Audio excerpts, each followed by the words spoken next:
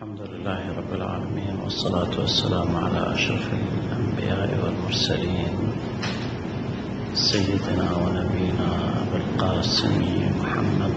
اللهم صل على محمد وآل محمد. وعلى الهداة الميامين من أهل بيته الطيبين الطاهرين. لا سيما بقية الله في الأرضين. واللعنة الدائمة على أعدائهم أجمعين. في حديث سابق أشرت إلى أن حركة العلامات إنما تبتدئ من الشام. وأي حديث عن علامة بمعزل عن الشام. لن يكون له علاقة بالظهور الشريف. إذا أصل الأعمال المترتبة على علامات الظهور وحركة هذه العلامات تبتدئ من أحداث الشام. وأحاول هنا أن ألخص طبيعة ما سيجري من حراك في العلامات وفق مقولات أهل بيت الأسماء والطهارة صلوات الله وسلامه عليهم. حتى نستطيع أن نتواصل مع مجريات اليوم. مجريات اليوم ليست بالضرورة متصلة بتلك العلامات كما أنه لا دليل على عدم اتصالها. لكن ما يهمنا أن نتعرف على أصل الأشياء وهي ماذا تقول العلامات عن الشام؟ على ضوئها يمكن أن نعيد قراءة الواقع ونعرف إذا ما كانت الأحداث لها علاقة أو لا علاقة لها بالذي يجري في الشام. لكن القدر المتيقن أن روايات الشيعة والسنة على حد سواء تتحدث عن فتنة تقبل من المغرب وتلتقي بفتنة أخرى من المشرق ويلتقيان في سرة الشام أي في عمق الشام. والفتنة هنا هي عبارة عن مخططات تستهدف الشام لكن هذه المخططات من مجاميع في الغرب ومن مجاميع في الشرق وأيضا تتفق هذه الروايات على أن الشام تتعرض إلى أمرين أساسيين. الأمر الأول جوع شديد أو حصار شديد والأمر الثاني أن الشام تخرب ولا تبقى كما كانت قبل هذه الفتنة. ثم القضية الأخرى التي تأتي لاحقا في طبيعة حراك العلامات أن هناك جيشان يصطرعان في داخل الشام. جيش يطلق عليه بجيش الأصهب وجيش يطلق عليه بجيش الأبقع. والأبقع هو أحد اثنين. إما أن يكون في جسمه بقع إشارة إلى أن له لون ويخالطه لون آخر كما يكون الأبقع يسمى الضبع. بالضبع الأبقع لأن فيه ألوان متعددة تعلو جسمه وبالشكل الذي قد يشار إليه بالمرقط أو يشار إليه بالأبقع. أو أن لونه متميز عن غيره من الألوان. بالشكل الذي كما يكون الأسود وسط البيض أو الأحمر وسط السمر أو ما إلى ذلك عندئذ يشار إليه بأنه هذا أبقع. قبل ذلك كان بنو أمية يسمون خدامهم من الروم بالأبقع لأن بنو أمية لأن بنو أمية كانوا من أصحاب السمرة بشرتهم سمراء وخدامهم من الروم يأتون بالبشرة الحمراء. لذلك أحمر وسط مجموعة من السمر يسمى بالأبقع بالنسبة إلى الأصهب يبدو لي أنه هو الحاكم وهذا الرجل له مميزات كونه أصهبا يعني كونه طويل الرقبة أو طويل العنق وكونه آه، يسمى في الروايات أيضا بأنه هو السفياني الثاني. يعني السفياني الأول لا علاقة له بالذي يجري والسفيان الثاني ليس هو السفياني الموعود. السفياني الموعود هو الذي سيقتل السفيان الثاني كما أنه هو الذي سيقتل الأبقى تحصل فتنة كما أشرت باختلاف باتفاق الروايات السنية والشيعية ولكن تشير الروايات إلى أن الشام حينما تخرب تخرب باشتباك جيشين. واشتباك الجيشين بالنسبة لشيعة أهل البيت على وجه الخصوص تقترن بحادثة متميزة. هذه الحادثة يشير إليها تشير إليها روايات أهل السنة ولكن لا تشير إلى الحادثة بقدر ما تشير إلى الزمن. رواية أهل السنة تقول بأن يوم الخامس عشر من شهر رمضان سيحصل هناك تفجير بسلاح مدمر شامل. يؤدي بتعبير بعض رواياتهم إلى سبعين ألف قتيل سبعين ألف أخرس سبعين ألف أصم سبعين ألف آه من المفتقة أبكارهن وسبعون ألف أعمى. والسلاح بلغة التدمير الشامل له هذه الهيئة من التخريب لا بد من أن يكون سلاحا متميزا جدا. في تعبير روايات أهل البيت لا يشيرون إلى شهر رمضان وإنما يشيرون إلى أنه إذا رأيتم أن الجيشان قد تشابكت أرماحهما. إذا اشتبك الرمحان أو إذا اختلف الرمحان بمعنى إذا ما رأينا جيشا معينا يشتبك مع جيش آخر بمواصفات الجيوش عندئذ فتوقع الرجفة يهلك بها مئة ألف تكون رحمة للمؤمنين ونقمة على الكافرين. بتعبير الإمام الباقر صلوات الله وسلامه عليه يأتيكم الصوت بغتة من قبل دمشق يكون فيه فرج عظيم لكم. إذا نحن أمام حدث حدث أساسي. هذا الحدث يتفق عليه الشيعة والسنة في طبيعة قوته التدميرية الكبيرة. حينما يتحدث أهل البيت عن مئة ألف قتيل ويتحدث أهل السنة عن سبعين ألف قتيل. سبعين ألف قتيل والمئة ألف قتيل هي من أرقام المكاثرة في اللغة العربية. ليس لا تشير بالضرورة إلى نفس هذه الأعداد وإنما تشير إلى العدد الكبير جدا. لكن ما تشير إليه روايات أهل السنة مثير جدا. في أنها تلحق بالقتلى أعداد كبيرة من المتضررين بضرر الخرس أو العمى أو آه، الطرش. يعني إما سبعون ألفا تصم سبعون ألفا تعمي سبعون ألفا وتخرس سبعون ألفا.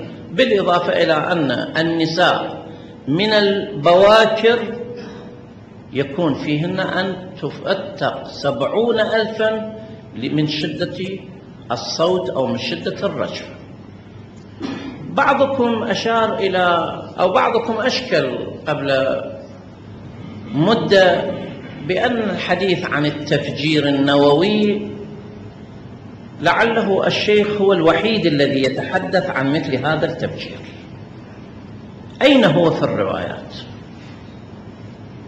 وأنا أؤكد ما سبق إلي أن أشرت إلى وطرحت في كتابنا علامات الظهور في الجزء الثاني أن التفجير النووي آت لا محالة ليس القضية عبارة عن خبر آحاد أو رواية واحدة مجتزأة وإنما هناك إجماع ما بين في تسريب الخبر ما بين الشيعة والسنة قسم يذكره بطريقة وقسم آخر يذكره بطريقة أخرى ولكن المؤدى يؤدي إلى اتجاه واحد. هذا الاتجاه أولا حينما نعلم بوجود قتلى بهذا الحجم الكبير نحن إذا أمام واحد من أسلحة ثلاثة أو أسلحة أربعة.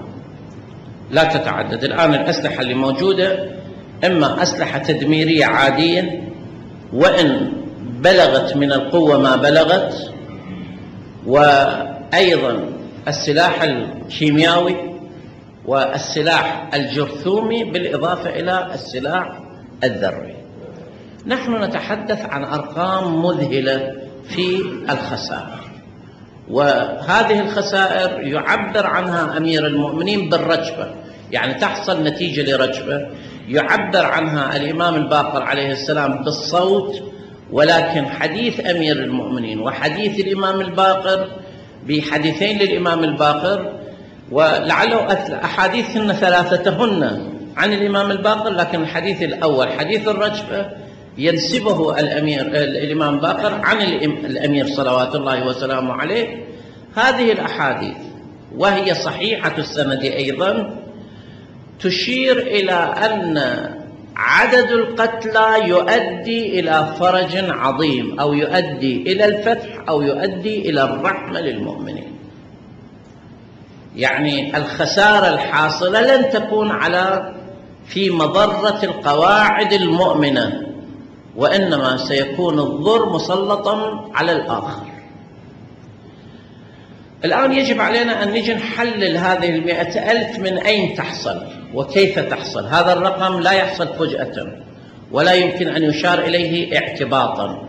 لابد إما من وجود حرب تؤدي إلى استئصال هذا العدد أو إلى حديث عن سلاح مدمر بشكل شمولي يؤدي إلى هذه النتيجة. والذي يحصل هو في الروايات أن الروايات تتحدث عن صوت لا تتحدث عن حرب وتتحدث عن رجفة لا تتحدث عن حرب. إذا نحن أمام حادث واحد وليس مجموعة أحداث يمكن لها أن تسبب بكل هذا العدد. في رواية عن رسول الله صلى الله عليه وآله وسلم تروى بألفاظ متعددة. ولكن هذه الرواية ذات مغزى في غاية الأهمية. قبل ما أذكر هذه الرواية يشير الإمام الباقر عليه السلام في رواية إلى نار تبقى في السماء لعدة أيام تشبه الهردي العظيم. إذا نحن أمام سلاح. يبقى تبقى يبقى ناره أو تبقى ناره لعدة أيام في السماء. لون النار كالهردي العظيم. الهردي هو لون الزعفران. اللي هو الأحمر المائل إلى الصفرة أو الأصفر الضارب بالحمرة ليس البرتقالي. وإنما الأحمر الذي فيه صفار أو العكس هو الصحيح لون الزعفران إذا نبحث عن سلاح يجب أن يتوفر فيه هذا اللون يخلف هذا اللون تحديدا. يمكن لهذا الحديث لوحده أن يستثني. السلاح الكيميائي ويستثني أو يخرج السلاح الكيميائي والسلاح البيولوجي أو الجرثومي باعتبار أن هذه الأسلحة لا نار فيها. هذه الأسلحة عبارة عن غازات. قد تصير بعضها ملون وقد يكون غالبيتها بلا لون لكن فيها طعم أو فيها رائحة محددة. وأنا بعد ذلك أجي إلى هذا النمط من من السلاح. في رواية أخرى يشار إلى عمود من النار في السماء. إذا هذا السلاح من النمط الذي يؤدي إلى وجود عمود من النار والأعمدة لا تنزل من الأعلى وإنما تصعد من الأسفل. إذا ليس هو حدث سماوي وإنما هو حدث أرضي يؤدي إلى عمود من النار. وهذا هو أيضا واحدة من مشخصات السلاح. أي سلاح تفجيره يؤدي إلى عمود من النار؟ الأسلحة تخرج نيرانا كل الأسلحة تخرج نيران. ولكن الأسلحة التدميرية عادة إما أن تكون بزوايا تفجيرية منفرجة يعني تكون بهذه الشاكلة وإما بزوايا تفجيرية محدبة تكون بهذه الشاكلة بمعنى إما أن يكون لها قدرة قمعية للتفجير باتجاه الأرض أو من من خلال من خارج الأرض. يعني إما أن تأتي من الأسفل إلى الأعلى وإما تنفجر قبل وصولها إلى الأرض وتؤدي إلى تفجير تكون نيرانه لا علاقة لها بالأعمدة. وإنما تكون نيرانه حسب الهدف اللي تضربه حسب المكان اللي تستهدفه واللي هي عبارة عن ثورة دخان وأتربة وما إلى ذلك. إذا الأسلحة التدميرية لا تعطينا والأسلحة الكيميائية والأسلحة الجرثومية كليهما لا وجود فيهما للأعمدة. الوحيد من الأسلحة الذي يخرج عمودا ويستمر في السماء وله هذا اللون هو السلاح النووي الوحيد. أضف إلى ذلك هناك حديث آخر يشير إلى أن هذه النار ستضيء أعناق الإبل في بصرة. نعم. الليزر ما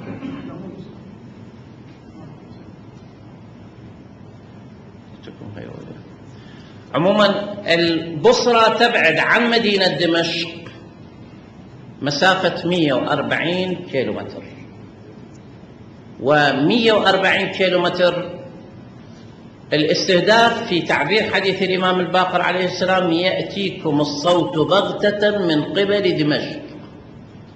إذا نبحث عن سلاح يترك من الضوء ما يضيء مدينة بصرة اللي هي تبعد 140 كيلومتر. والسلاح الوحيد الذي لديه قدرة ضوئية بهذا الحجم هو سلاح السلاح النووي. ما يؤكد ذلك ما موجود. يعني ببصرة تصير قريب درعا. أو محاذية إلى درعا بشكل مباشر. على أي حال ما يؤكد ذلك الحديث الذي أشرت إليه عن رسول الله صلى الله عليه وآله وسلم وقلت بأنه مثير جدا.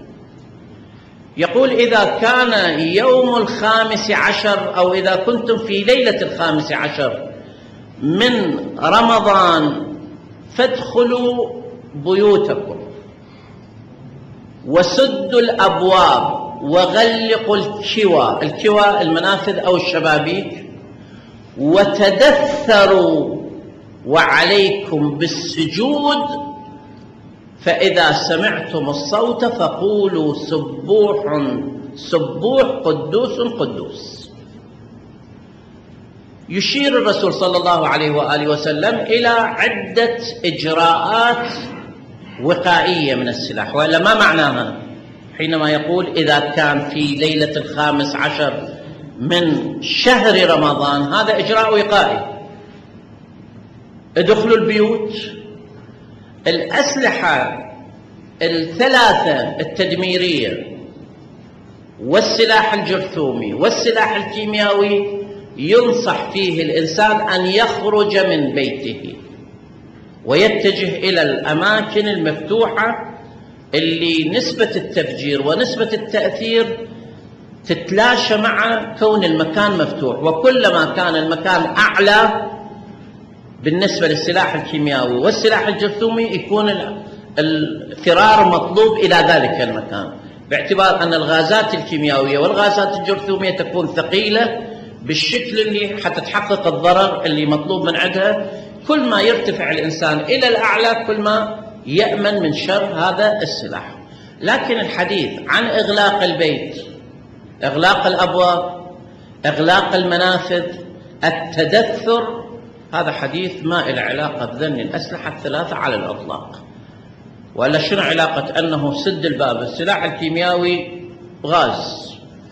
السلاح الجرثومي أيضا يتسرب عبر مواد وغاز عادة تنقلها الغازات وما إلى ذلك أو المواد اللي وبالنتيجة يمكن أن تنتقل عبر ذرات الهواء. وأيضا السلاح التدميري ما له علاقة أنه سد المنافذ أو سد الباب. الوحيد اللي يعبرون عنه بالإجراءات الوقائية بهذه الشكل هو السلاح النووي. السلاح النووي تأثيره مبني مو على أساس التفجير. مبني على أساس وجود ثلاث أنواع أشعة. هذه الأشعة تختلف واحدة منها إلى الأخرى في نسبة الضرر ولكن هي سلاح آه، أشعاع ألفا وبيتا وغاما أخطر من النوع الثالث اللي عادة يخترق الجلد ويوصل إلى الخلايا الحيوية في داخل جسم الإنسان. هنا من الذي يمنع الشعاع؟ أي فاصلة بين الشعاع وبين جسم الإنسان هو حاجب عن الشعاع. إذا التدثر ودخول البيوت وإغلاق المنافذ وإغلاق الشبابيك وإغلاق الأبواب كلها عمليات وقائية صحيحة لكنها لا تنسجم إلا مع هذا السلاح. ما قصة السجود هنا؟ الآن العلماء يتحدثون عن أن الإنسان أو أن طبيعة الأسلحة الذرية تطلق شحنات كبيرة جدا من الموجات الكهرومغناطيسية وهذه الموجات أو الشحنات عادة هي تتواجد عند الإنسان نتيجة استخدامه للموبايل وكل الأجهزة الإلكترونية فيها مقدار من المقادير. لكن قبل مدة كان تقرير من علماء مختصين كانوا يوصون الإنسان إذا أنه هو من النوع اللي يتعرض إلى الأجهزة الإلكترونية عليه أن يلاصق ما بين جبهته وما بين الأرض ليش؟ لأنه الجهة الوحيدة اللي تفرغ الشحنات الكهربائية الموجبة اللي تحيط عادة بمراكز الأعصاب عند الإنسان هي الأرض لأنها تفرغ إلى المو... إلى الوضع السالب اللي موجود في الأرض اللي الآن إحنا نسميه الإيرث اللي نعبر عنه الإيرث معناه شنو؟ معناها أنه مفرغ للشحنة اللي موجودة بحيث يأمن الجهاز وما يكون من آه، من الأنماط اللي تلحق الضرر بالإنسان. إذا لغة السجود هنا هي مطلوب من الإنسان أن يسجد لكي لا تبقى الشحنات الكهرومغناطيسية بشحناتها العالية. إحنا الآن نتحدث عن تفجير نووي ما نتحدث عن موبايل أو نتحدث عن مسجل أو ما إلى ذلك أو كمبيوتر أو ما إلى ذلك. نتحدث عن تفجير نووي فيه شحنات هائلة جدا لكن هاي الشحنات الهائلة يمكن لها أن تتسرب عبر الالتصاق بالأرض بطريقة السجود وأمثال السجود. العجيب هنا أن العلماء يقولون أن هذه الموجات أو الشحنات الكهربائية تتجمع على مراكز الأعصاب. ومراكز الأعصاب هي المساجد السبعة في جسم الإنسان. المراكز تجميع الأعصاب وانطلاق الأعصاب عادة هي المساجد السبعة المؤثرة في بمعنى الكفين والركبتين بالإضافة إلى ناصية الإنسان والأصابع القدمين. الآن طب كبير يجري بناء على معالجة جسم الإنسان من أصابع القدمين. الطب الصيني واحدة من ميزاته أنه يأخذ أصابع القدمين ومنها ينطلق إلى بقية الجسم في العلاج مع أنه لا يستخدم إلا الأصابع. إذا الحديث عن السجود حديث عن تفريغ الشحنة الكهربائية اللي تنطلق من هذا التفجير. ما بال سبوح قدوس أو ما إلى ذلك؟ قضية سهلة جدا باعتبار أن الأصوات العالية لا يمكن أن تلحق أذى بالإنسان إذا كان فم الإنسان مفتوحا السلام إذا كان فم الإنسان مفتوح الموج الانفجار لا يلحق ذلك الضرر. طبعا كل واحد حسب قربه من الانفجار لكن بشكل عام كلما كان فوهة الإنسان أو فم الإنسان مفتوحا أكثر كلما أمكنه أن يتخلص من موج الانفجار. إذا هذه التدابير التي يتحدث عنها الرسول الأكرم صلوات الله وسلامه عليه وآله هي تدابير لهذا النمط من أنماط السلاح شرط أمير المؤمنين كان يقول بأنه هذا الأمر يحصل طبعا في الروايات يسمى رجفة يسمى صوت يسمى هدة والهدة تكون من الأعلى إلى الأسفل. شرط أمير المؤمنين يقول إذا رأيت إذا اشتبك الرمحان أو إذا اختلف الرمحان فتوقعوا الرجفة في الشام وروايات أهل السنة تشير إلى الزمن لكنها لا تشير إلى الظرف الموضوعي. إذا إحنا أمامنا معطى أساسي وأمامنا معلومة أساسية أنه إذا رأينا جيشين اختلفا في صراعهما في الشام عندئذ يمكن أن نترقب مثل هذه الفرصة. لكن هذا ليس دليلا لوحده وإنما هو علامة من العلامات يمكن أن تصح على هذه القضية ويمكن أن لا تصح. لكن ميزة هذه العلامات ستكون بماذا؟ ستكون بأنها مرتبطة بغيرها من الأحداث كارتباط الحبة بالمسبحة. نظام كنظام الخرز يتبع بعضه بعضا بالنتيجة هذا الحدث. إذا ما سبق تهديد تهديد نداء على سور دمشق. حديث الإمام الباقر صلوات الله وسلامه عليه. وحديث آخر لأمير المؤمنين مناد على سور على جدار دمشق ينادي ويل للعرب من شر قد اقترب. إذا المهدد ليس من العرب. والتهديد يأتي من طرف الحدود. والحدود الشامية هي واحدة من هذه الأسماء إما الصهاينة وإما الأتراك وإما ما نسميه اليوم بحلف الناتو باعتبار هو على الحدود أيضا وإما أن يكون الأردن أو لبنان أو العراق. لبنان والعراق خارجة باعتبار أنها من هذا القيد باعتبار أنها في ذاك الزمن لم تكون بتلك الأوضاع التي تسمح لها بتهديد الآخرين.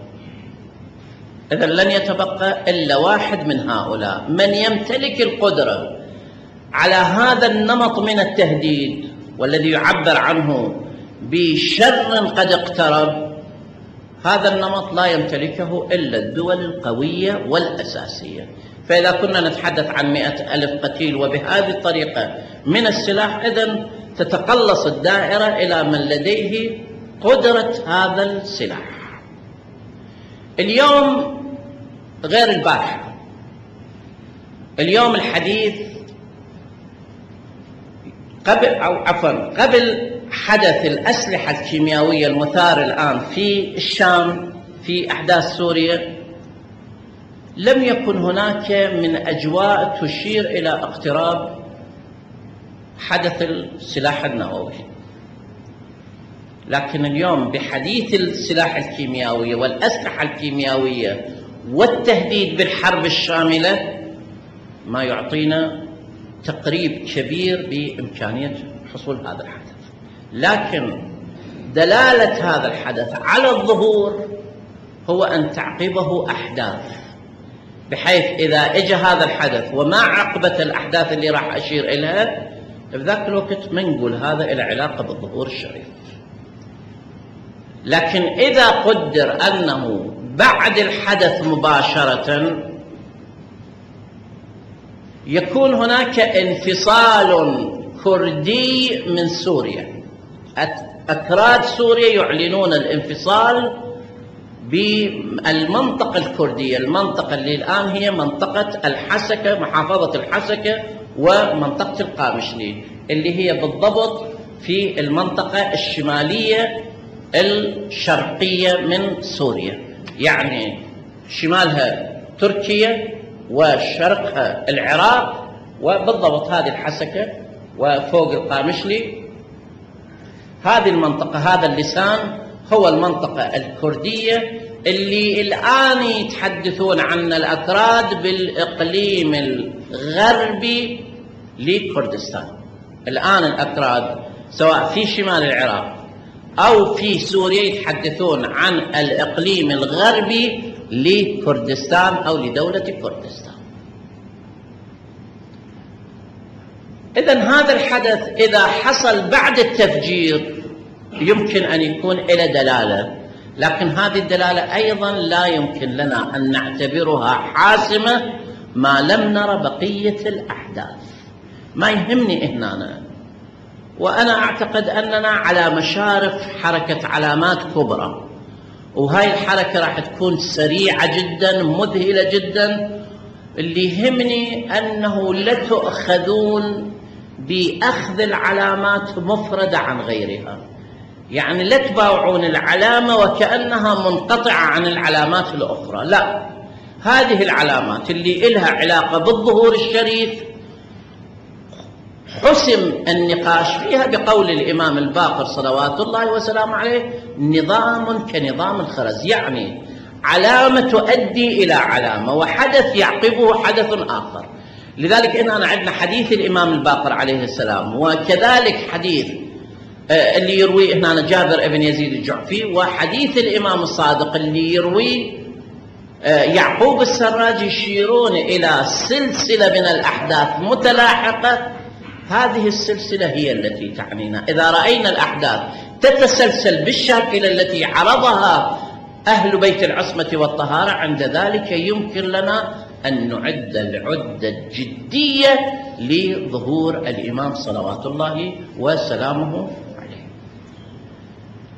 الحدث اللي لحق مباشرة هو أن يكون هناك زلزال كبير في دمشق. والزلزال في منطقة دمشق لن يكون كبقية الزلازل في دول العالم. باعتبار أن الخط الزلزالي في سوريا والمنطقة العربية منطقة الشرق الأوسط تحديدا هذا الخط أشبه بالنائم نومة كبيرة.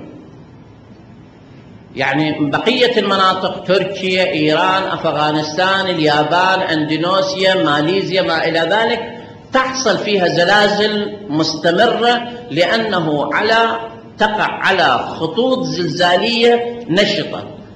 أما منطقة الشرق الأوسط تقع على منطقة أو على خط زلزالي أشبه بالنائم نومة عميقة. ما الذي سيحركه؟ الانفجار النووي. أنا حتى أوضح للأخوان حركة الزلازل شلون تصير؟ وهذا أمر مطلوب باعتبار حتى يتبين أن ليش قرن هذا الحدث بحدث التفجير اللي تصاب به دمشق. الأرض لدينا في تضاريس الأرض شيء اسمه الصفائح التكتونية. قشرة الأرض أو عمق الأرض فيه صفائح بالضبط مثل الصخور الكبيرة أو الهائلة جدا لكن هذه الصخور ما متلاحمة مع بعضها. بيناتها وبين الصخرة الأخرى هناك آه، فاصلة. هذه الفاصلة تسمى بالقشرة الرخوة يعني شلون صخرة تنتشي على صخرة لكن أكثر المناطق تضررا أو هشاشة هي نقطة الالتقاء. بحيث أي تعرض قوي إلى الصخرتين يمكن أن يؤدي إلى انهيار هذه النقطة الهشة. على سبيل المثال لدي هذه قطعة وهذه قطعة. ونقطة الالتقاء فيما بينهما منطقة رخوة. حينما يأتي أي محرك لهاتين القطعتين أول نقطة تتحرك وين؟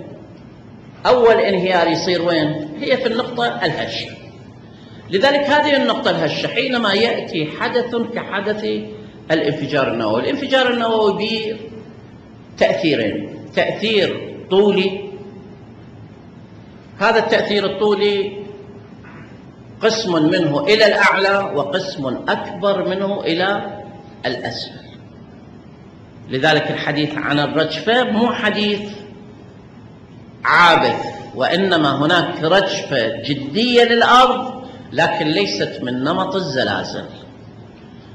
بعد ذلك راح يصير الخسف الذي يسقط به جدار مسجد الشام مسجد الأموي وتحديدا الجدار الأيمن وصولا إلى منطقة حرستا اللي هو خط طولي يمتد إلى حوالي عشرة كيلومترات. بالضبط إذا يتابع ويانا الأخ هادي. شوية زرقة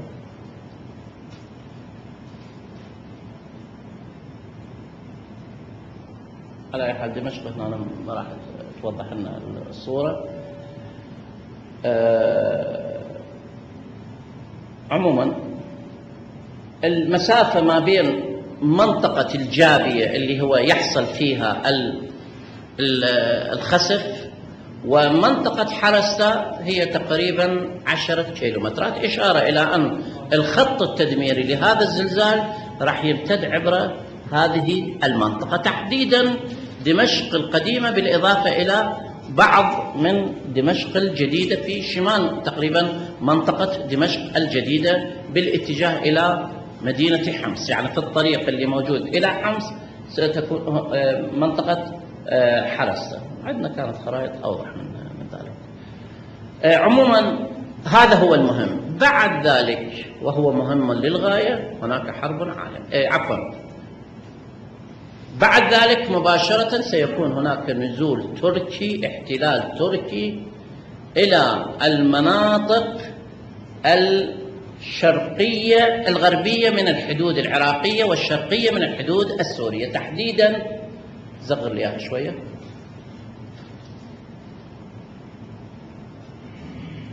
تحديدا هذا ال ال إيدك بالضبط نهر الخابور اللي تشوفوه هذا الخط الممتد الثاني من بعد الحدود اللي نازل من الأعلى.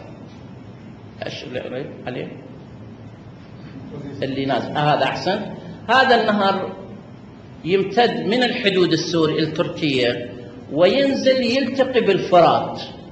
الفرات اللي هو هذا. هذه المنطقة يسموها الجزيرة. هذه المنطقة كل المنطقة يسموها الجزيرة. ارجع سلط الضوء على الالتقاء بالفرات. سيكون هناك احتلال والاحتلال مبرراته هو الأكراد وما عملوه من إعلان الانفصال وما يعبر عنه الآن بالمناطق الآمنة أو الأماكن المحمية. اليوم الحديث اللي يجري أو من أمس كنا نسمع أحداث تهديد تركي إلى بسبب حالة تسلط حزب العمال الكردستاني على مناطق الحسكة باعتبار هناك أخبار تشير إلى أن حزب العمال الآن هو الذي يشرف على العملية الأمنية في محافظة الحسكة طبعا من أقول اليوم يريد يعطينا صورة تقريبية عما يمكن أن يحصل. هناك استفزاز الأتراك مباشرة تعاملوا بمنطق بمنطق الاحتلال أو بمنطق تجاوز الحدود إجابة الاستفزاز ولتلبية أغراض الاستفزاز. هنا الأتراك سيأتون من الشمال تعبر الرواية وسيربطون خيولهم حتى تشرب خيولهم. من نهر الفرات أقرب نقطة إلى الأتراك لنهر الفرات بمعية الجزيرة هي هذه النقطة. اللي تكون بالضبط عند مدينة البصيرة واللي هي الآن اسمها البصيرة قديما كانت تسمى بقرقيسيا. يعني دولة اللي كانت عاصمتها قرقيسيا هي هذه المنطقة بالضبط. يعني البصيرة قائمة على مدينة قرقيسيا القديمة. تبعد عن دير الزور آه، مسافة 42 كيلومتر. أتعجب على بعض المؤلفين أن أشار إلى أن قرقيسيا تقع في المثلث العراقي التركي السوري. بينما هنا ماذا نرى؟ نرى أنها في أسفل الحدود العراقية السورية يعني في مقابل البوكمال بالضبط ولا تبعد عنها البوكمال إلا مسافة قليلة جدا اللي هي ربما ما تتجاوز الأربعين أو الخمسين كيلو بين المنطقتين. أيما يكن إذا شفنا تسلسل الأحداث بهذه الطريقة أيقنوا بأن السفياني هو الحدث اللاحق. التصور بأن الأحداث في سوريا ستؤدي إلى خذلان شيعة أهل البيت صلوات الله وسلامه عليهم تصور سيء جدا وخاطئ تماما لأسباب. طبعا بهالأثناء قبل ما أتحدث عن هذه الأسباب بهالأثناء دمشق أو سوريا راح تتفكك حديث أئمة أهل البيت عن الكور الخمسة حديث عن الشام المقطعة أو عن سوريا المقطعة إلى خمسة مناطق. يشار فيها إلى منطقة حلب وإدلب وحما بعنوان قنسرين المنطقة الشمالية باتجاه البحر باتجاه البحر. قرب لي؟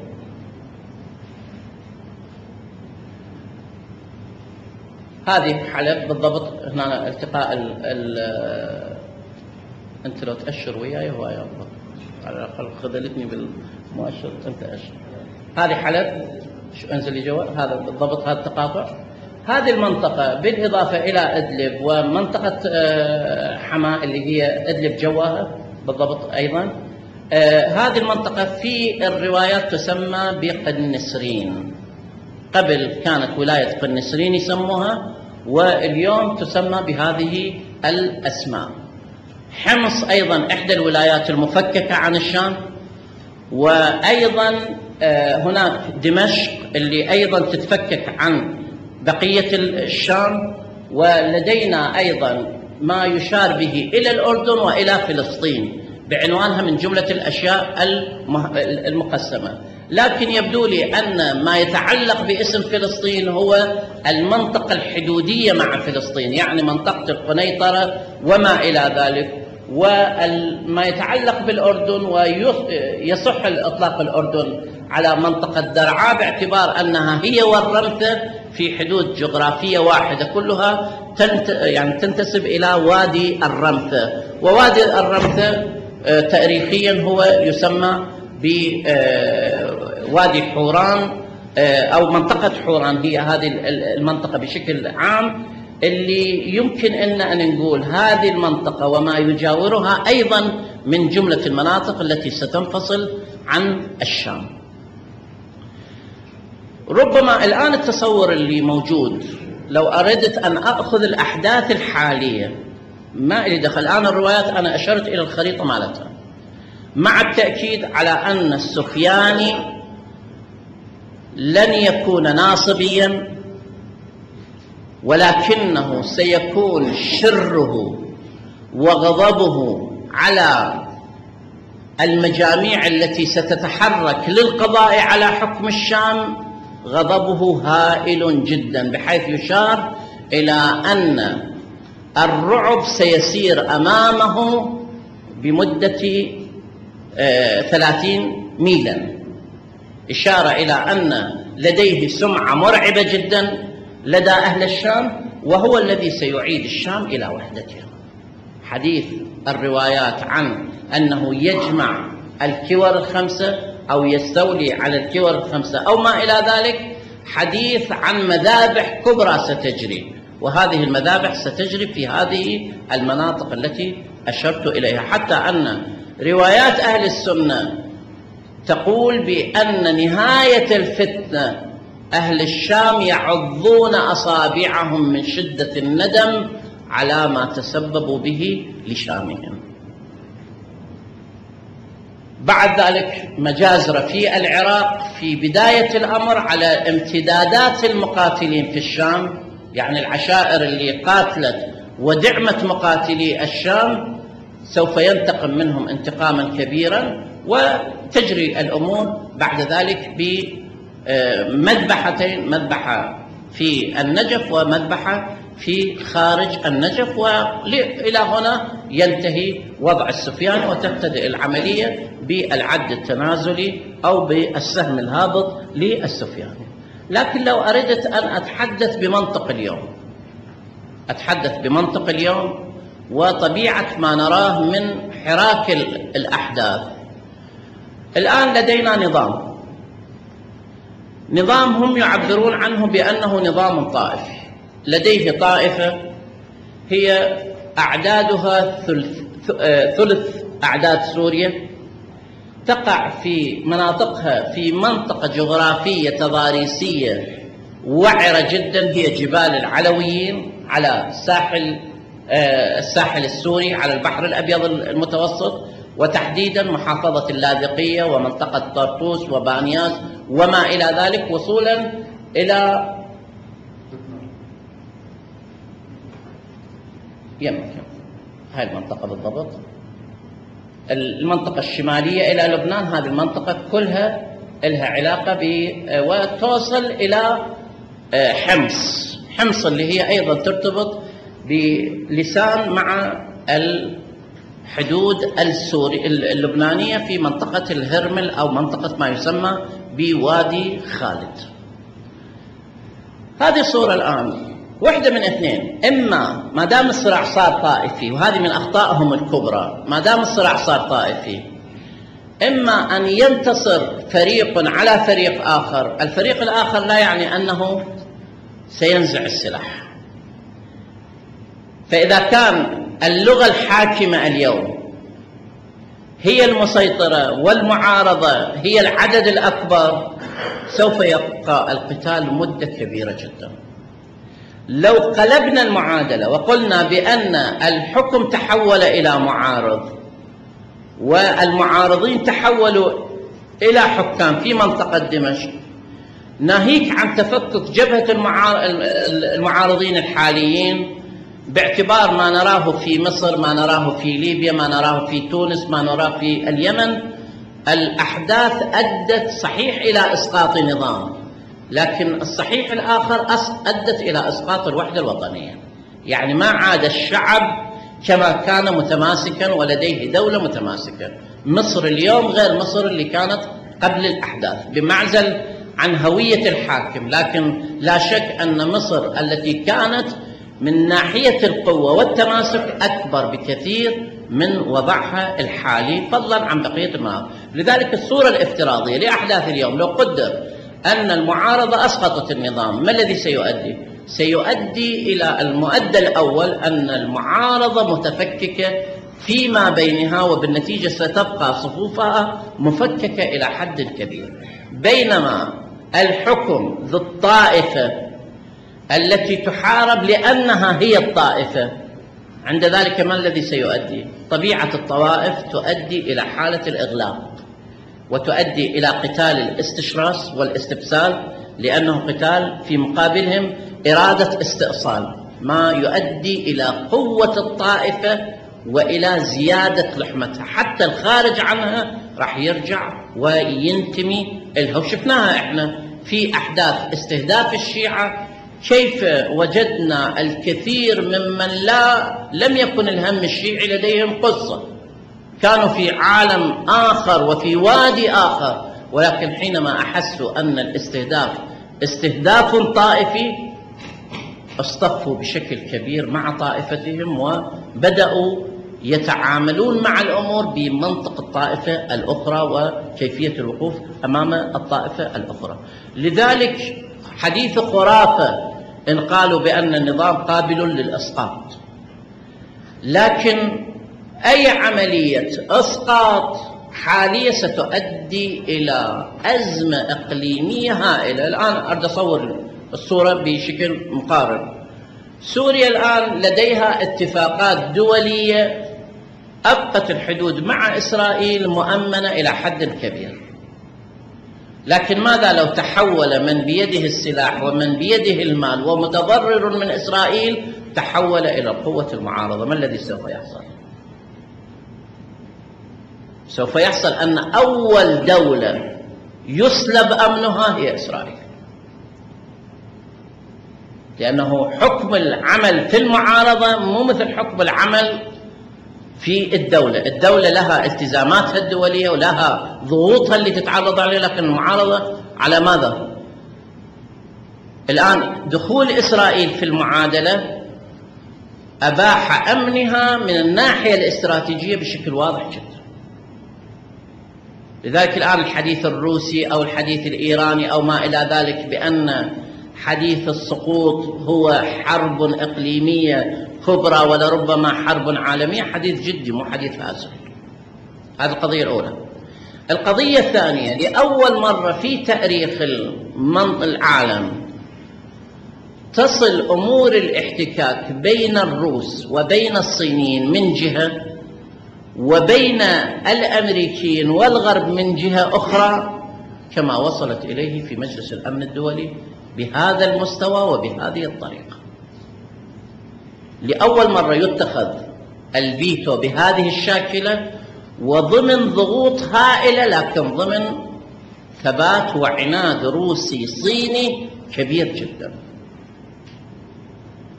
التداعي الأول لعملية كسر العظم التي حصلت في مجلس الأمن هو أن الأمريكيين صرحوا بأننا سنعمل خارج مجلس الأمن الدولي. والروس صرحوا بأن ترسانتهم النووية سوف يتم العناية بفعاليتها. وهذا الحديث لا يطلق جزافا. يفترض الآن العالم يتحدث عن هدوء الأحوال لكن أنا أعتقد أن ما سبق لكيسنجر أن تحدث به قبل حوالي عشرة أشهر أو أكثر من أنه يرى الحرب العالمية الثالثة في المستقبل القريب أو في الأفق القريب أعتقد أن هذا الحديث أصبح حديثا ميدانيا السبب شنو؟ ليش روسيا اتخذت هذا الموقف؟ روسيا ترتبط بالحدث السوري بثلاثة قضايا أساسية استراتيجية بعيدا عن تحالفاتها مع النظام أو ما إلى ذلك بعيدا عن هذه القضية أولا هناك خصوصية اجتماعية روسية هي أن الكنيسة الروسية تتبع كنيسة دمشق من ناحية الولاء الديني. يعني المسيحيين لديهم كنائس متعددة اللي منتمين إلى المسيحية البروتستانتية لديهم الكنيسة الإنجليزية هي الأصل. لا يعترفون بالفاتيكان. الذين ينتسبون إلى الكاثوليك لديهم الفاتيكان هي الأصل. الذين ينتسبون إلى المسيحيين الأرثوذكسيين هؤلاء مرجعيتهم كنيسة دمشق. والروس هم ينتسبون إلى هذا العالم. هذا أمر أول. لذلك التفريط في دمشق لن تكون عملية سهلة ولن تكون عملية على المستوى الواقع الشعبي. ربما من سوء حظ المعارضة أن الإرهاب التكفيري هو الذي يتصدى للعملية عملية المعارضة بالشكل الذي استفز الأطراف الأخرى حتى التي لا تبالي. يمكن للبعض أن يقول يأتي يذهب نظام ويأتي نظام وأنا أتعامل مع الأنظمة. لكن وجود التكفيريين وما فعلوه في العراق وما قدموه من تجربة إلى العالم في أفغانستان يعطي الكثير من المخاوف إلى الآخرين ويستثيرهم بشكل كبير جدا. هذه القضية الأولى. على المستوى الاستراتيجي سوريا هي المنطقة الأخيرة إلى روسيا والصين في البحر الأبيض المتوسط. كانت هناك ليبيا وكان هناك خداع أمريكي كبير إلى الروس وإلى الصين بأنهم سيؤمنون مصالحهم في تلك المنطقة ولكن من بعد خراب البصرة تبين للروس وتبين للصينيين أن الأمريكيين لم يفوا بتعهداتهم إذا النقطة الأخيرة في هذه المنطقة لا يمكن الاستهانة بالتخلي عنها ليس لأنها سوريا بل لأن تصور البحر الأبيض المتوسط بصورة أمريكية بحتة وخلوه من الوضع الروسي أو الصيني سيؤدي إلى انقلاب موازين استراتيجية كبرى بالنسبة إلى هذه الدول. ولذلك لن تكون سوريا مجال تفريط أو تساهل من قبل السوريين. والقضية الثالثة تتعلق بأن الأمريكيين لم يفوا بالتعهدات بالشكل الذي حول الروس إلى قوة هامشية ومهمشة. ولا بد لروسيا أن تعيد الثقة لنفسها وثقة الآخرين بها. من دون هذه العملية لا يمكن أن تكون. لذلك هذا الضغط الذي سلط على سوريا على روسيا وهذه الإغراءات الكبيرة التي قدمت للروس وللصينيين إنما يجري على طريقة حوار الطرشان لأنهم لم يفهموا المعادلة الروسية بشكل دقيق. لكن مهما يكن أعتقد أن الحديث عن الحرب العالمية أصبح ممكنا. الآن لو أعدنا سياق الأحداث اللي طرحتها الروايات وتصورنا وضع فيه طرف من الأطراف الدولية يكبس على زر التفجير النووي. التفجير النووي ليس أي سلاح آخر. التفجير النووي لو حصل في أدنى منطقة من الأرض سوف تلتهب عواطف أعلى منطقة في الأرض وأبعد منطقة في الأرض. التفجير النووي مو لعبة. لذلك تصوروا أنه وضع كبس الزر في منطقة من المناطق ما الذي سيؤدي؟ في أبسط التقادير سيؤدي إلى أن الآخرين سيضعون أصابعهم على الأزرار والمعركة تكسب من قبل أول من يطلق. هنا إذا تصورون الجو بهذه الشاكلة أن تركيا تتدخل وتحتل قسم من سوريا والأكراد يستفزون الموقف العالمي من طرف من الأطراف ويعلنون انفصالهم وقيام دولة جديدة. ما الذي سيحصل في دول المنطقة؟ لا شك أن التشابك سيكون كبيرا جدا. لذلك تقريب الصورة إلى طبيعة الذي يجري أمر في غاية الأهمية ولا أقول بالضرورة أن هذه سترتبط بالروايات ولكن من الضروري جدا أن نطلع على ما قالته الروايات حتى نراقب. إذا ما تطابقت الصورتين والأحداث تقاربت عند ذلك نقول بأن أئمتنا حينما تحدثوا تحدثوا عن هذه الظروف. الشيء اللي هنا نشوفه نتحدث عن خراب دولة ونتحدث عن حرب عالمية. أين الفجر المهدوي في هذه القضية؟ ولماذا نقول أن العاقبة ستكون لمدرسة أهل البيت في كل هذه المعارك الحرب العالمية اللي يشار إليها في ثلاثة روايات صحيحة في طبيعة الأرقام التي ستذهب منها وإلى روايتين أو إلى رواية صحيحة أخرى يشار فيها إلى أصل الحدث يعبر عنها الإمام الباقر صلوات الله وسلامه عليه في أحد الأحاديث بهرج الروم. ولكن الهرج اللي هو الاقتتال والاضطراب في ما بين الروم لكن في الرواية التي آه، الثلاث روايات التي تروى عن الإمام الصادق عليه السلام واحدة يذهب ثلثاء الناس والثانية يذهب من كل سبعة خمسة والثالثة يذهب تسعة أعشار الناس. وما بين التسعة أعشار وما بين ثلثي الناس الرقم ليس متباعدا بشكل كبير. الحديث عن ذهاب ثلثي الناس ونحن نتحدث عن مليارات الصين والهند وما إلى ذلك. يعرف أن عن أن الحرب ستكون خاطفة سريعة جدا وبتعبير كيسنجر يقول ستكون الحرب العالمية الثالثة. ستك... عفوا ستكون الحرب العالمية الأولى والثانية عبارة عن نزهة أمام الحرب العالمية الثالثة. إذا إحنا هم أمام هذا الأمر وبهذه الشاكلة تسير الأمور. نحن أمام لا شك ولا ريب أمام صخب سياسي كبير جدا. وأنا أدعوكم إلى حالة من حالات الاستغفار للحدث السوري. ما الذي يجري فيه؟ لأن هذا الفرج موكول به. التفجير النووي إن صح أنه يحصل في شهر رمضان أو بعده أو قبله أو ما إلى ذلك رجب الذي يأتي من ورائه فيه السفياني